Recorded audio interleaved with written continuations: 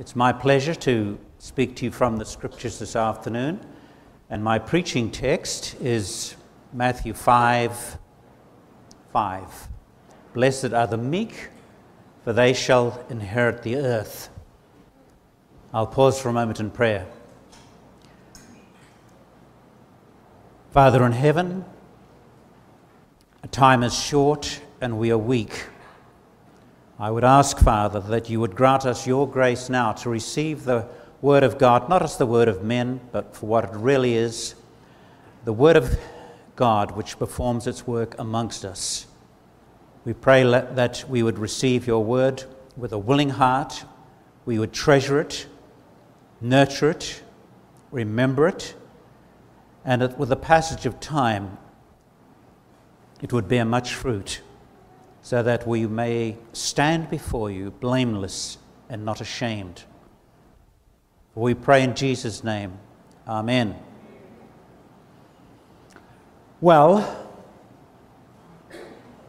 it's been a long, long, long, long time, hasn't it?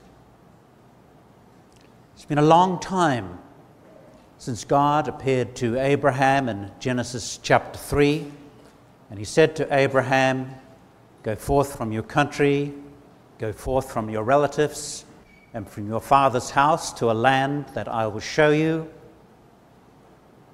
And I will make you a great nation, and I will bless you, and many nations will come forth from you. And I will bless those who bless you, and in you all the families, all the nations of the earth shall be blessed.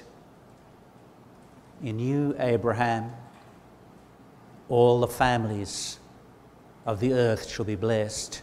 There's tremendous weight and significance in those words because the Almighty God is promising Abraham that through him, from, him, from his descendants, one who will, will come who will bring the blessing of God and the curse of God that has fallen upon mankind in the Garden of Eden is going to be lifted.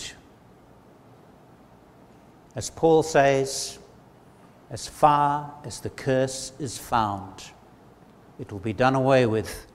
Not straight away, but it will come. And it is coming. And for generation after generation after generation, through trial and tribulation and sorrow and sin and pain and exodus and the return to the land, God's people have been waiting, haven't they? They're waiting for the fulfillment of that promise. They're waiting for that blessing. They know it's coming. And they know that the Old Testament sacrifices of the lamb and so forth are just an outward shadow. They're waiting for the reality of the shadow. And now, when Jesus Christ, that perfect man, ascends to the hill, seeing the crowds, he went up to the mountain, and when he sat down, his disciples came to him, and he opened his mouth, and he speaks forth his blessing. That perfect man has brought the blessing of God, long promised ago, to Abraham. And now everything that God promised to Abraham, to the Jewish people, and to the nations of the world has come to pass. As I said, not everything on day one, but it has come. And it is coming. More to come and it will come finally, completely, in the new heavens and the new earth. As I said, my text is Blessed are the meek, for they shall inherit the earth. It's not poetry, you know. It's real and it's true. Now, the first blessed is blessed are the poor in spirit. The poor in spirit is like a man who's taken a journey on the ferry, on the overnight ferry from Manila Bay to Cebu, and he's been washed overboard. in the night and it's dark and he's cold and he is in desperate circumstances and he knows he's going to die until an arm reaches out in the night and it's a fisherman who has found in him and he says, Hang on to my arm. And he does. And he hangs on to that fisherman's arm with all his strength because he, can, because he knows he is in desperate circumstances. The poor in spirit are like a man who has taught rebellion against his king, and he's been placed in a prison, and he's awaiting his death sentence. And then a letter arrives from the king with his name on it, and it says, You have been pardoned, and you are welcome to return to the king's palace. We are reconciled, and to come into my presence. And he seizes hold of that letter and he never lets it go because he knows he is in desperate circumstances. And there is the word for him of hope and blessing. The next blessing is blessed are those who mourn. Blessed are those who mourn, for they shall be comforted. Those who mourn are those who are are aware, they understand, they feel within themselves that sense of shame, is probably the best word I can think of, or disgrace, because of what they have said and what they have done and what they have wanted, which they thought would make them happy, but which brought hurt to others and to themselves. And they mourn for that darkness within. And no food or drink or technology or entertainment, no new, bright, shiny thing that they can purchase at gateways can remove that sense of disgrace. And they sorrow and they lament and they find sin to be bitter. I hope that's how you find sin. They find sin to be bitter, but Jesus is sweet. And so they are comforted in him. And upon these persons, these desperate people, we might say, Jesus, sorry, God puts his smile of approval. The word blessed, blessed, blessed, it means the approval or the smile or the applause of God. It's amazing. It's wonderful. There is fallen humanity. And for those who mourn, for those who are poor in spirit, he, God puts his applause and his smile, and it rests upon them. And then our text this afternoon Blessed are the meek, for they shall inherit the earth. I want to talk about that meekness. I'm going to say three things about that meekness how we get it, what it looks like, and the strength that comes from it. How do we get it? What does it look like when we have it? And the strength that comes with meekness. I'll just point out that in verses 3 and 4, it's more to do with our relationship with God. But in verse 5, our text, it has to do with how our lives are lived out hour by hour, day by day, in the intense and complex relationships of church and families and work. For some Christians, it's lived out amongst other believers, and it's more or less, for the most part, safe and secure and warm. For others, for many, it's lived out in hostile, sometimes even hateful circumstances. And as the early Christians found out, it's very hard.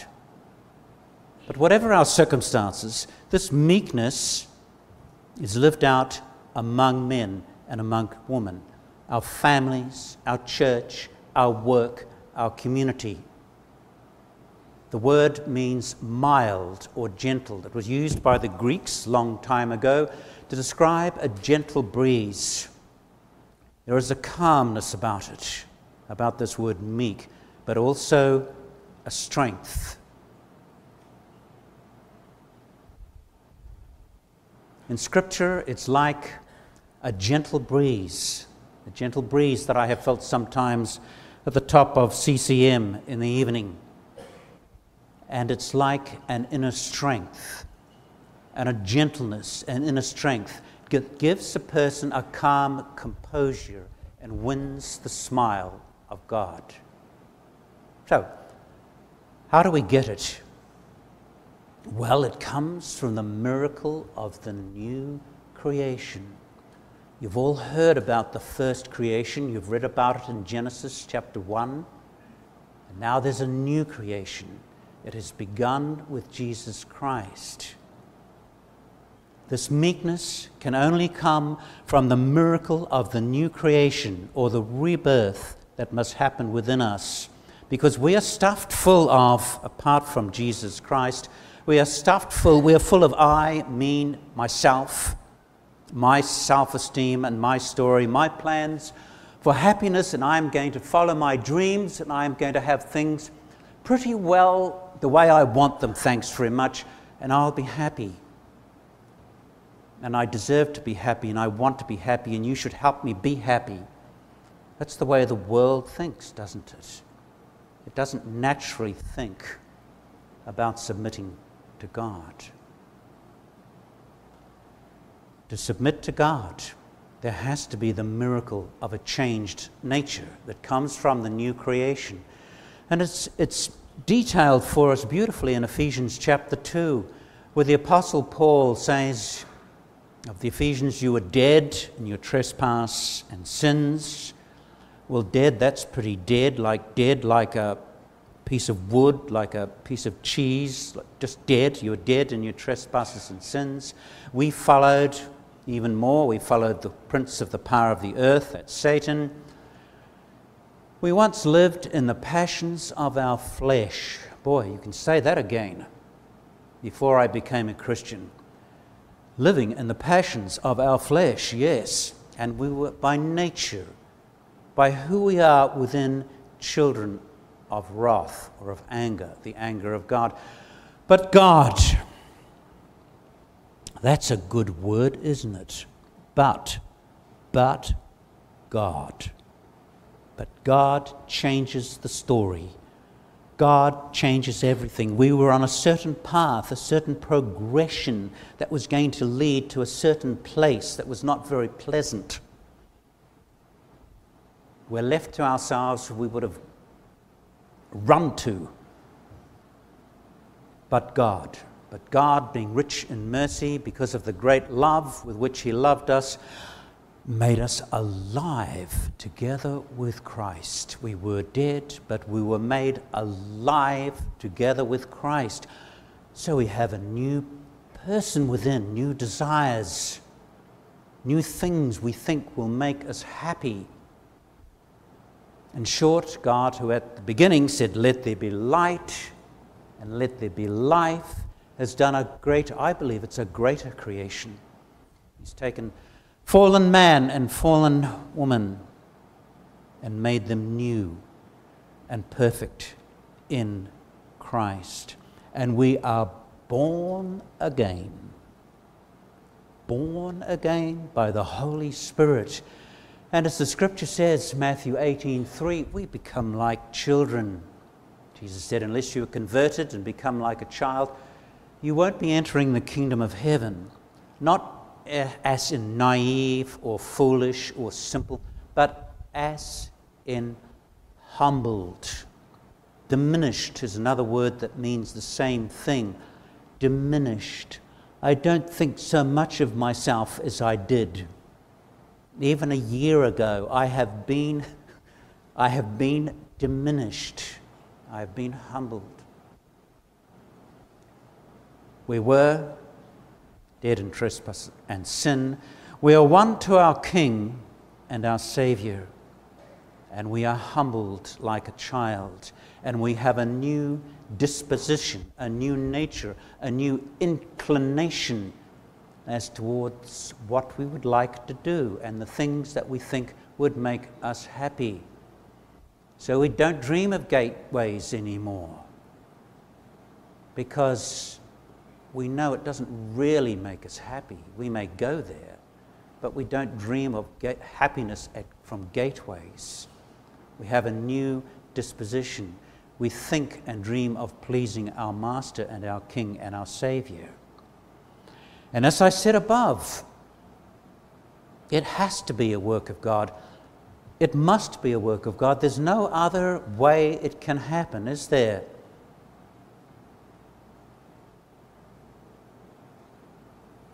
And it is so contrary to the spirit of our age.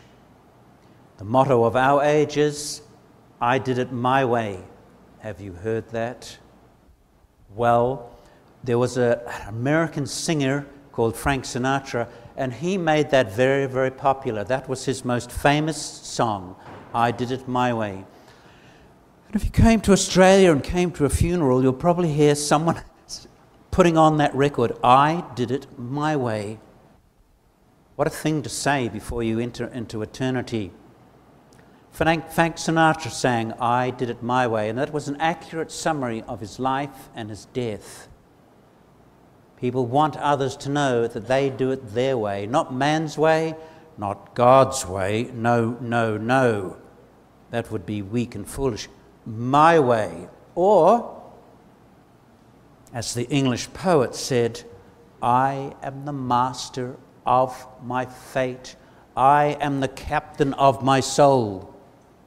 I am the master of my fate. I am the captain of my soul, and that is the path to manhood and happiness. Chart your own course. Why would you follow some, some book? And again, that is antithetical, contrary against our text and against the Christian faith. There is no trust there. I'm just describing you the spirit of our age and how men live, how men live, and how they die. There has to be a work of God that changes us, lest we be caught up in the spirit of our age. I remember many years ago, I was talking to a friend. We'd been friends for a long, long, long time, and we, I had been seeking to persuade to win him to Christ. And we were talking late at night, as we often did, and we went down to the beach, and it was quiet, and the, the moon was shining over the water, the stars were sparkling in the, in the sky. And I persuaded him to pray a prayer. And he did pray the prayer. And I said, and he said to me, Oh, look, that's, that's, that's wonderful. I, I, I feel new. I feel all new. And I said to him the next day, Well, would you like to come to church with me? And he said, No, I'll do it my way. And I knew right then that he was stillborn, born dead, dead to God and dead to his blessing. He wanted to do it his way.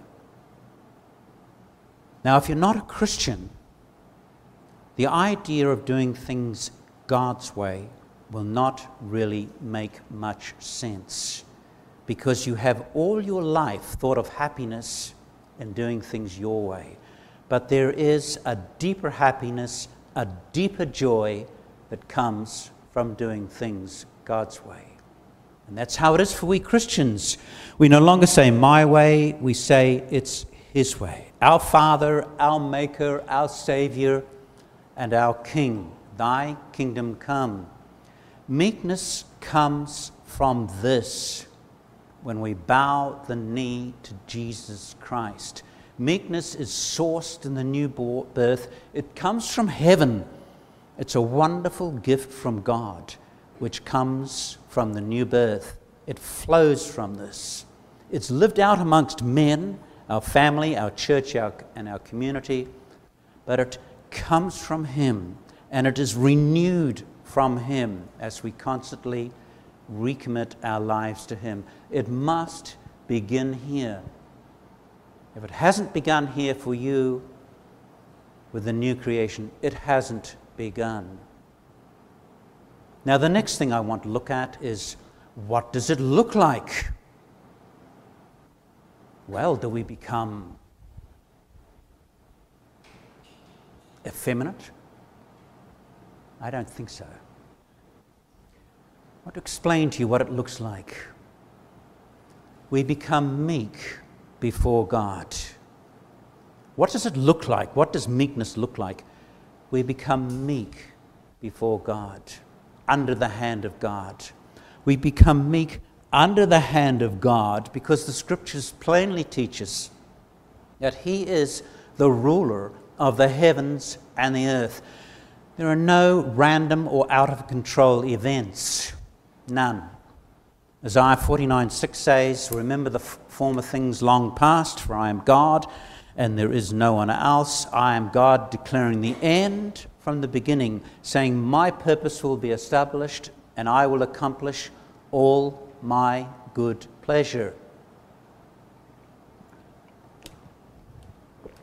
So he, him, the king, he knows the past, he's ruled over the past. He knows the present, he's ruling over everything now. He knows everything that will ever happen because he decides everything that will ever happen by his decrees he decrees what has not yet happened. That's what Isaiah is saying. For I am, the, I am God declaring the end from the beginning, saying, My purpose will be established. I will do as I please. Nothing happens in this world but by his direct agency or his direct control or his permission. Nothing is independent of him you know, just flying around sort of out of control. It just happens and he didn't know about it. It was just an accident. Nothing happens which is independent of him. If things happened that were independent of him, he would no longer be the supreme being, but he is. And he rules over all things. So all things are mediated or come to us through the hand of God including that arrow that was shot through the air at random and went zinging through the air, way up, up, down, down, down, and found its way right under the armpit of King Ahab, which caused him to bleed to death. That's what happened. The scripture says that that arrow was directed by God.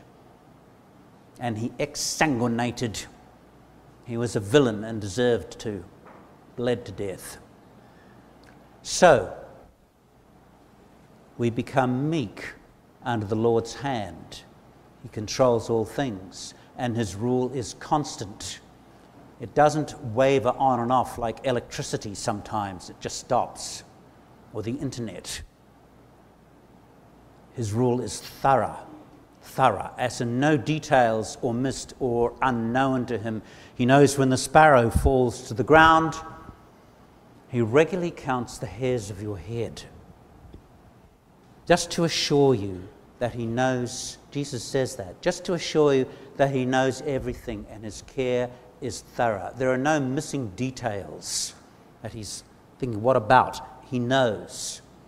And his rule is pastoral or caring or loving. I am the good shepherd, declared Jesus Christ. Well, thank you, God in heaven, for that.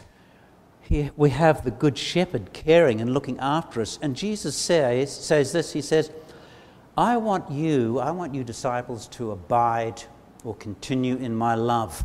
That is, I want you to continually believe and expect that moment by moment, hour by hour, day by day, in every and all circumstances, I am ruling over your life in love. Because that's what he is doing. So he says, I want you to abide, remain in my love. Or earlier, abide in me, abide in my love, remain in me, because I am constantly bringing all things together. I'm constantly working all things together for good. I'm constantly shepherding.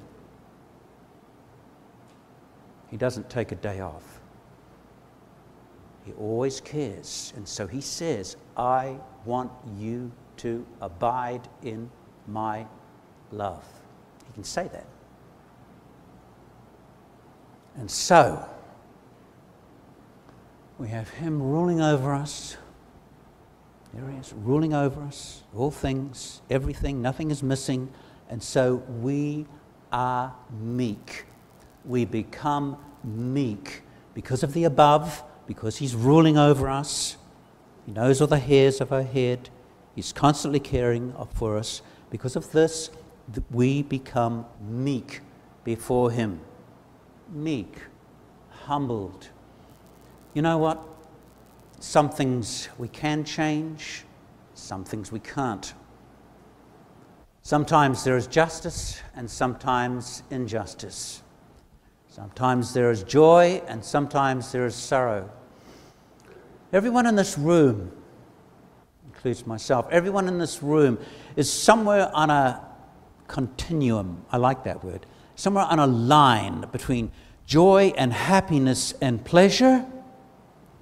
Over here, joy, happiness, pleasure and suffering and disease and death and pain over here. We're somewhere between here and here, usually a complex combination of them both. Our lives are a mixture, an admission, an admixture of joy and happiness and sorrow and pain. But in all things, wherever you are on the continuum, here and here. In all things we give thanks and we say, Thy will be done, because we are in submission to Him, our King, our ruler. And He knows what He's doing. And so we submit. We are weak before Him without complaining,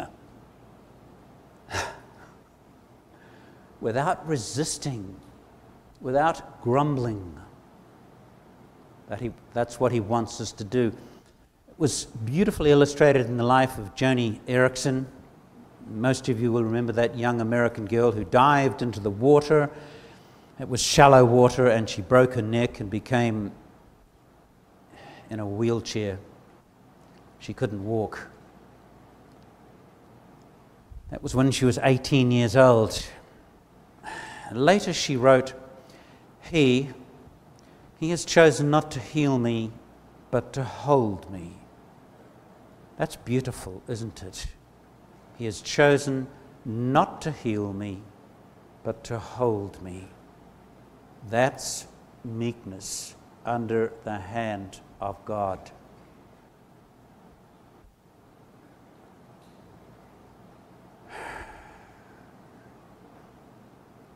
Andrew Brunson he was a pastor in Turkey. He was arrested as a threat to national security on the charge of being a leading actor in a terrorist group. I see Pastor Ellis over there. He was probably be a leading actor in a terrorist group too. Anyway, Andrew Brunson spent a lot of time in uh, a Turkish jail, and he said, Let me be clear, I'm not in prison for anything I have done, but because of who I am a Christian pastor. I miss my wife and children, but it is an honor to suffer for Jesus Christ as many others have before me. He's being meek before God. And we see it beautifully illustrated in the life of our Lord Jesus Christ. In the Garden of Gethsemane, he faces into the impending firestorm you know, with there's fire and wind and you can hear it coming. Jesus knows what's coming.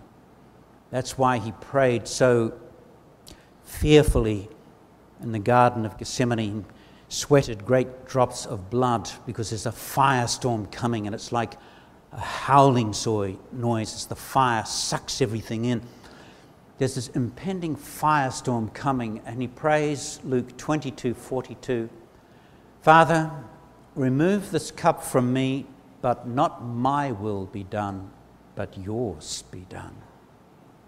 And he was at peace. He was at rest with what followed afterwards. He had come to do his Father's will, and he was meek before God. So, meekness is lived out in this world under the hand or under the rule of God. And it flows from that, if we've established that, that we become meek before men. So we're still talking about what it looks like. We become meek before God, we become meek before men. We are meek before men. That's a generic term, by the way, so men and women. We become meek before men because we believe that behind the lips and the actions of men is the hand of God, either caused by Him or allowed by Him. It's beautifully illustrated in John chapter 11, verse 51. The high priest who hated Jesus and was moved by the spirit of Satan. Remember, Jesus said, This is the hour of darkness. Yes, it was the hour of darkness, it was Satan's hour.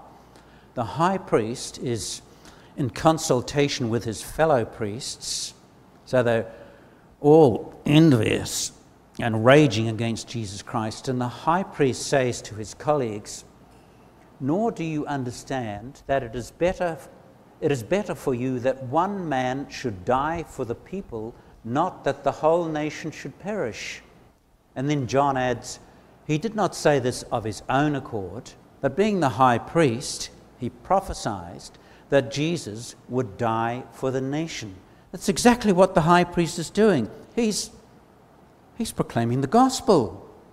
So that the reader who's reading that and he's thinking, well, you know, why did, if Jesus is going to, if the Savior, and one day he's going to rule the nations with a rod of iron, why is it that he's dying on a Roman cross?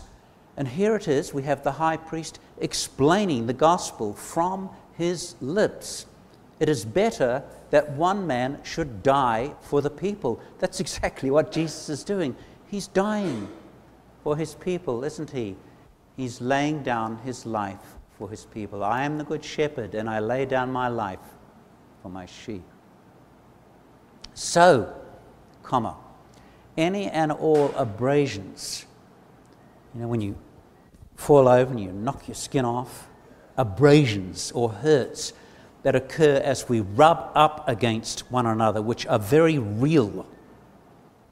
Any deep sorrows caused by criticisms, sharp words, times that we have been overlooked or we feel left out, or when we suffer illness or pain, loss of worldly goods, happen because He has allowed them to happen. And it is His will that we respond with meekness. So, what does it look like? We submit to the hand of God, we submit under men. Paul beautifully illustrates it when he t- writes to the church um, oh, in the book of Titus. And he, t- he reminds Titus that the Cretans are always liars, evil beasts, and lazy gluttons. In other words, not all that easy to get along with. Because the people on Crete, where there's churches, are liars, evil beasts, and lazy gluttons. Not all that easy to get along with. Some, some of you probably know people that are not all that easy to get along with. It's hard just to get on with them. And Paul says, Paul says to the Christians, look, I want you to, amongst these cretins, I want you to be submissive to rulers and authorities, to be obedient, ready for every good work, to speak evil of no one, to avoid quarreling, and be gentle. Same word, gentle, and show perfect courtesy towards all people. So, all those cretins, which are not easy to get along with, you're to be respectful and meek, not provoked, not self asserted, but gentle. And of course, we see it beautifully lived out in the life of our Savior, don't we? He's our hero, isn't he? Isn't he? He's our hero. we don't need a hero on television or a comic strip hero like Superman or Ant Man or those heroes that keep flooding onto our television, uh, onto the, in, through the cinemas, uh, in red costumes and shields and big hammers and that. We have one already. It's Jesus Christ. He's our hero and our Savior. Peter says when he, when Jesus was reviled, he did not revile in return. When he suffered, he did not threaten, but he continued entrusting himself to him who judges justly. So there it is. He was meek, not weak, but meek. And that leads me to my last point the strength that comes with meekness. It's very, very real. The strength that comes from meekness.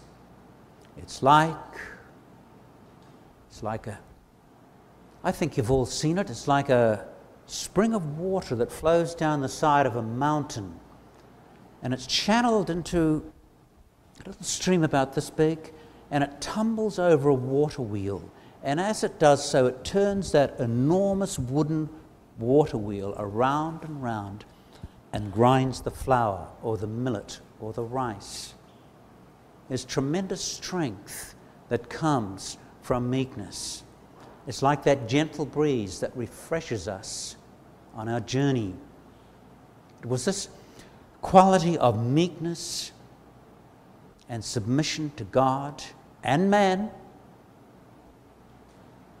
that made Jesus as strong as spring steel. Steel is hard. When you bump into it with your leg, it hurts. Spring steel is also hard, but it flexes, it bends, and it comes back. So it's often used in agriculture and other uses. So it made Jesus meekness, submission to God and man, made Jesus as strong as spring steel. It will flex, it will not break. Jesus, facing the firestorm, prayed in the Garden of Eden, Not my will, but thy will be done. And it is his Father's will that he is betrayed, arrested, and the shame of it, given a sham trail and trial in the night, bashed, spat upon by the leaders of his own people, and then turned over by them to the power of Rome. And in a few hours, Jesus is dying on the cross, and he's fighting the agony. But he's still, if you can picture this, he's still on the cross in tremendous agony, having great difficulty to breathe, but he's still focusing his mind. He's submitting to his Father's will and he's focusing his mind. His great mission is to seek and to save the lost. And so he looks at those faces contorted with rage down there who are yelling insults at him, and he says, Father, forgive them. He prays for them. He gives pastoral care to the thief at his side. That's what he's doing. And he says, Today you shall be with me in paradise. Words of comfort from the Good Shepherd. He arranges for the welfare of his mother. And as he passes from this world, which is now dark, he cries, Into your hands I commit your spirit. That perfect to the very, very end, to the last words of his life, that perfect composure, calmness, courage, strength comes from his meekness, from a willing submission to his Father's will. That meekness made him as strong as spring steel, and he was unbroken. And so it was with the Apostle Paul. Paul writes the church at Corinth, and he appeals to them by the meekness and the gentleness of Christ. Oh, there it is again the gentleness and the meekness of Christ. He's saying to them, as Paul, as Jesus ran his race, So do I. How did it work out for Paul? Well, in prison often, beaten, so he almost died, five times given the 39 lashes, three times beaten with sticks, three times shipwrecked and dangers from robbers and danger in the city, in the country and at sea, and dangers from false believers, often cold and naked. Wow. As Jesus was meek and gentle before God and men, so was the Apostle Paul. And I would like you to be the same too. Because from that comes courage and determination. We call it grit, G R I T, grit. There was a movie called True Grit, it's a good one. Mental, spiritual toughness to follow Jesus. And as it was for Jesus and for Paul, so it may be with you. How are you doing with regard to meekness, may I ask? As I said before, you might think, well, it's really a girly thing, you know. Meek girls. Girls are meek, aren't they? Meek and weak. Well, Jesus didn't think so. Paul didn't think so. You may never have submitted yourself to God. You may just have assumed that you're the captain of your soul. That's what everyone else does and you're free to do it your way, but you're wrong. You're wrong about that. You're not the captain of your soul. And you'll have no blessing from God in this world or the next. Perhaps you're a Christian and you're fighting with God. You're unhappy. You're unhappy with who you married. You're unhappy with your husband, or you're unhappy with your wife, or you're happy with your church, or you're unhappy at work, or you're unhappy with something that's irritating you and it keeps, you know, like a stone in your shoe, it keeps, just keeps being there and irritating you, you're just unhappy. What you need to do is go back to the beginning submission to God. Isaiah 30, verse 15 says, In repentance and rest you shall be saved, in quietness and in trust shall be your strength. You can write that out and put it on the fridge and look at it every day. It will be very helpful. In repentance and rest you shall be saved, and quietness and trust shall be your strength. You may be easily made anxious and agitated, intimidated by events, a sense of dread hanging over you concerning tomorrow. You know, always just around the corner is giant despair standing over you with his like that ready to lock you up in his castle. You're worried, you're easily anxious. Giant despair is just around the corner. Your strength is being sucked out of you. You don't have the strength of the day. You're not refreshed. You are weak. And the reason you are weak is because you are not meek before God. Or perhaps you're easily fatalistic this always happens to me. Why is it that every time I go out, this happens to me? Or every time I'm in a certain situation, just when I think things are going well, everything turns to custard. Oh, well, for you, everything turns to sticky rice. Like that. It just happens to me all the time. Well, the real problem is that you are weak. Goodbye. And the reason you are weak is that you are not meek, as was our Lord. Or you may have never thought while you are so easily irritated, Ugh. cross, bad tempered. Well, the reason, I can tell you the reason why I'm so easily irritated is because I have a strong personality, right? I'm, I'm a strong man, I have a strong personality, so that's why I'm just easily irritated. Really? Proverbs 25 28 says, A man without self control is like a city broken into and left without walls. So that city is weak. So you're not strong because you're easily irritated and you have a strong personality. You are weak You are weak because you are not meek. Somewhere there is a fundamental lack of trust and submission to God. And that's why you're always touchy and hard to be around. Perhaps you're letting others make decisions that you that belong to you. If the husband is letting his wife control the finances, lead devotions, teach the children, pray with the children, and on and on, that's not because he's meek, it's because he's weak. Because ultimately, responsibility for the home lies with the husband. This is what you need to do. I'm going to give you the solution. This is what you need to do. Jesus said, Pastor Joseph read it Come to me, all who are weary and burdened, and I will give you rest. Take my yoke upon you, take my yoke upon you, and learn from me, for I am meek. Same word. I am meek and humble in heart, and you will find rest for your souls, for my yoke is easy and my burden is light. Well, that's what Jesus is saying. And I've given you, and you, are pretty familiar with the life of Jesus, how hard it was at times, that constant opposition, that constant antagonism, that constant criticism. But he said, My yoke, learn from me. My yoke is easy and my burden is light. Light.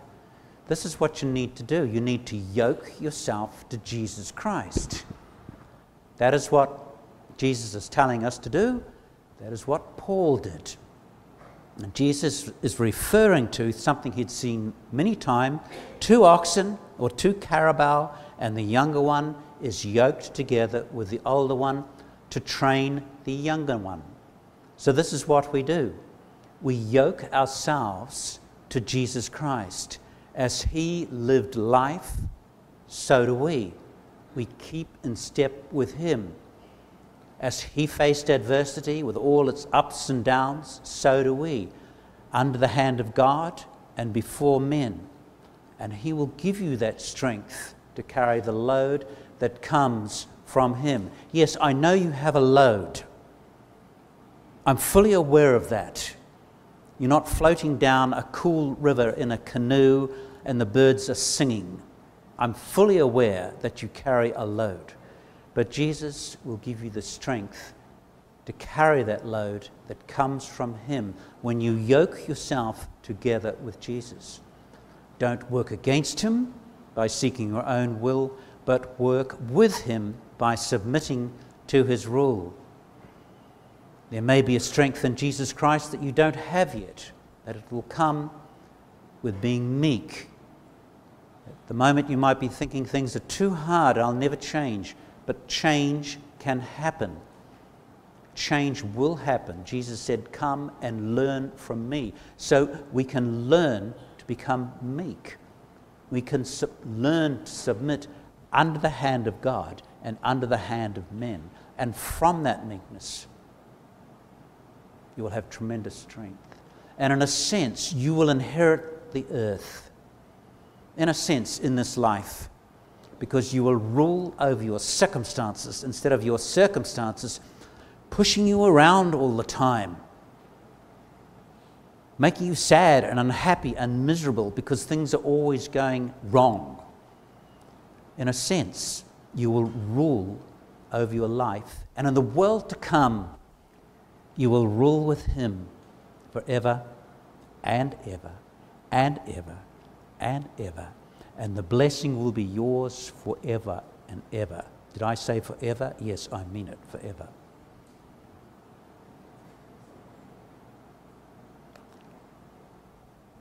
I'll close in prayer.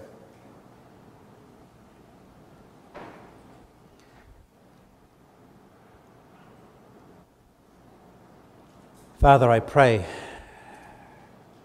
that in your grace you might grant us help to learn from our Savior, the Lord Jesus Christ. We are profoundly grateful that we have a Savior who didn't just tell us what to do, but who led the way and has gone before us as the pioneer and perfecter of our faith. And we pray, Father, you might grant us grace to follow in his footsteps, to follow closely to walk alongside and with Him and to learn from Him how we may live and live well, live well for our Savior in this troubled world. If we have failed in the past, and we all have, forgive us. May we be strengthened for the day when we stand before you. Until that time, Lord, we say, Come, Jesus, come, and come quickly. Amen.